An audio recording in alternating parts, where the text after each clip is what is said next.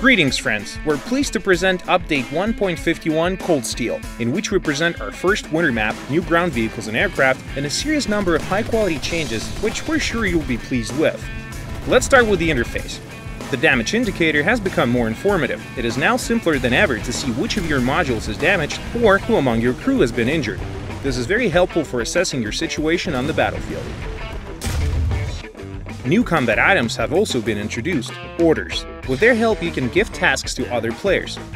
Each order is active for a certain amount of time, complete the order within the given time, and receive Silver Lions as a reward. This means you can earn extra by completing the tasks that other players set. Orders are currently available for arcade and realistic battles. Good news for those who've been waiting for extended missions. The developers have created a new confrontation mode with infinite respawns and the ability to join a battle that is already in progress. The first players who will be able to experience confrontation mode will be pilots and realistic and simulator battles. The teams fight for points. The more a team shoots down aircraft, destroys ground targets, captures points, and completes additional tasks, the more points and the closer to victory that team will get. So, what about new vehicles? I hear our pilots and tankers ask. Let's start with the vanguard of the key conflicting sides on the ground. In the US line, the M60 medium tank has taken up the torch of the M48 Patton. With better armor and a far more powerful weapon, this is an excellently balanced representative of the top line US medium tanks.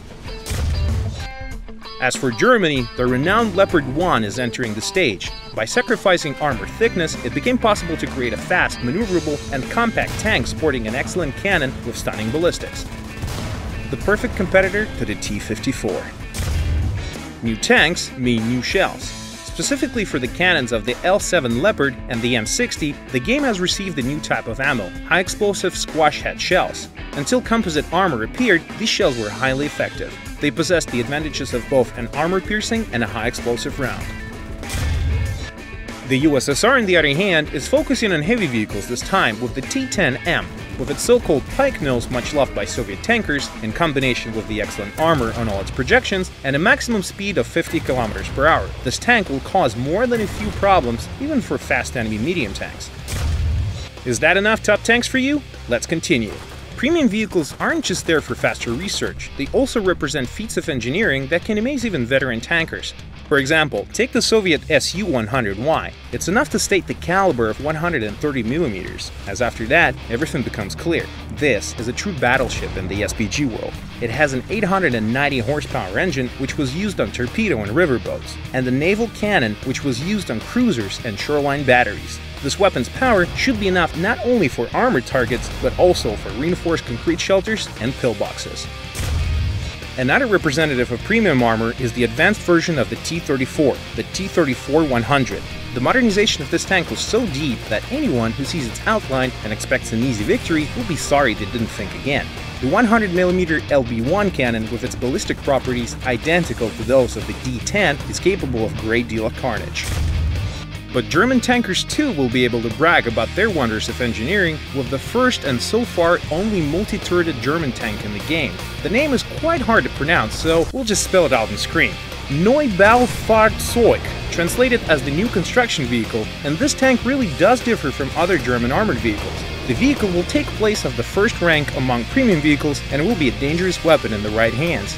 Its main turret houses 75 and 37mm twin guns. It also has two high caliber machine guns that are also capable of causing plenty of trouble at its rank.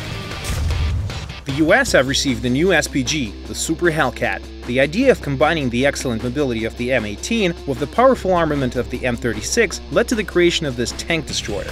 The result was the usual fast-moving Hellcat, but with a more powerful 90mm weapon.